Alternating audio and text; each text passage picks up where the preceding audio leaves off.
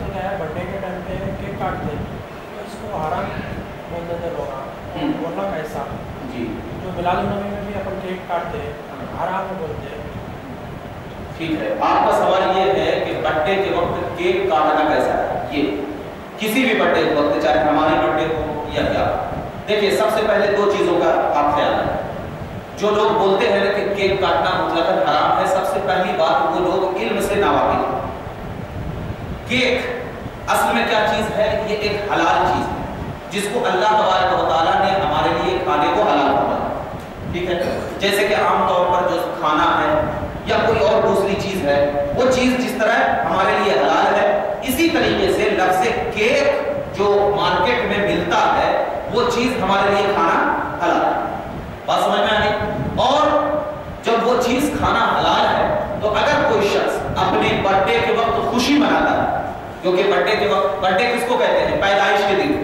اور پیدائش کے دن خوشیاں منانا یہ بالکل جائز ہے۔ جیسا کہ احادیث مبارکہ میں بھی حدیث سے ثابت ہے کہ نبی کریم صلی اللہ علیہ وسلم ہر پیر کا روزہ اس لیے رکھتے تھے کہ آپ اس دن پیدا ہوئے۔ تھے یعنی خوشی کے طور پر۔ تو اگر ہمارے گھروں میں جو ہماری اگر سالگرہ ہے، جس کو برتھ ڈے کہا جاتا ہے، اگر اس میں خوشی کے طور پر کوئی انسان کیک لاتا ہے اور کیک لانے کے بعد اس کو فاتحہ دیتا ہے فاتحہ دیا۔ فاتحہ دینے کے بعد اس کو کاٹ کاٹا۔ کاٹ کر کے کس نیت سے کاٹا کہ میں اتنا بڑا تو ایک ساتھ میں نہیں دے سکتا ہوں؟ کاٹ کر کے اگر لوگوں کو تھوڑا تھوڑا تقسیم کیا تو یہ بالکل جائز ہے۔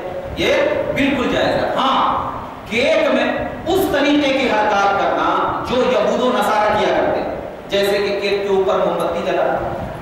تالیاں بجانا۔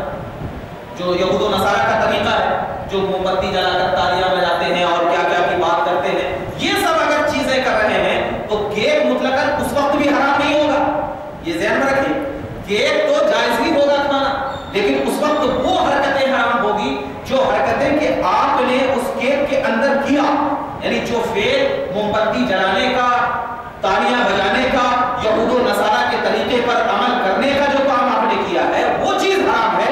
کیک جو ہے وہ مطلقاً جائز ہے، کیونکہ اس میں ہر چیز جائز کی لگی ہوئی ہے۔